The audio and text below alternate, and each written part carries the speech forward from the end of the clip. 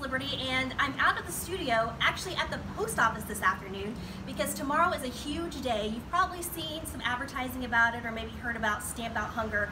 Not really sure what that is, so we're gonna find out right now. So this is an annual event, it's like the 26th annual, and it's where we need to put out food for food banks. Yes. But the mail carriers pick it up. Yes, um, this is 26 years worth of work that the NALC, uh, the National Rural Letter Carriers Association, the APWU, all the postal unions, and the Postal Service have put together. Um, we've picked up food for 26, this will be our 26th consecutive year. Um, over, what is it, 75 billion pounds of food has been picked up nationally now. Uh, through the course of this 26 years. It's a very important time of year for food banks. Um, their resources get depleted this time of year, and they actually have a bigger need this time of year because the kids are out of school, parents are having to feed more meals at home, so there's a huge need right now. It's a great opportunity to replenish those storehouses so that they can fill the need. Yeah, usually you think about food drives around the holidays. Yeah, yeah, Didn't really think about when the kids get out of school, that need is there. yep.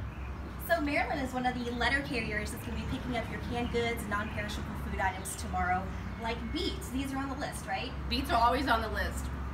Beets. Were you going to no eggs. No, we we, all, we honestly appreciate all of the contributions that come in from our community locally. Um, this is the 26th year that we picked up canned food.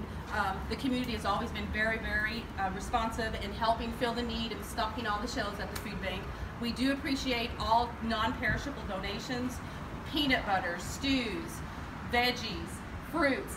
Any type of non-perishable item that's non-expired and non-glass is really appreciated. Your letter carrier will pick up any donation that's left by your mailbox and all of these donations that come in will go to the food bank and the food bank will distribute those to multiple community organizations. So don't leave any refrigerated food out or glass. A lot of people want to donate baby food, which is a good thing, but not the kind in the glass jars. Correct. And we really appreciate all the community support of this event. It's, it goes a long way and um, it helps fill a lot of need here in the tri-state area.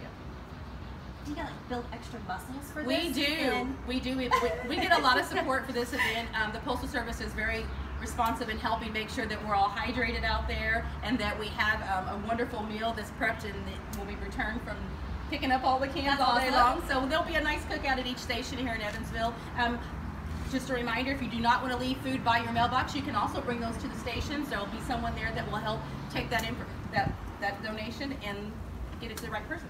And it's important to note too that you guys are volunteering your time for this. Yes, it is a volunteer effort. Um, your letter carrier is still working, and this is something they volunteer to do while they're still on the clock. Thank you. Thank you. So Allie is with the Tri-State Food Bank, and we mentioned that there are going to be a lot of people helping out, and those are volunteers that you actually need for tomorrow.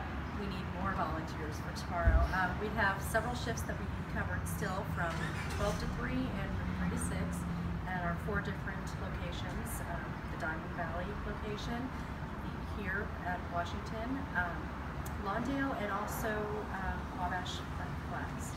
All right. So if somebody wants to volunteer, do they just show up, or do you need to have a list of people? Um, they can show up if they'd like, or if they want to contact me beforehand, my phone number is 425-0775, extension 307, or uh, tristatefoodbank.org.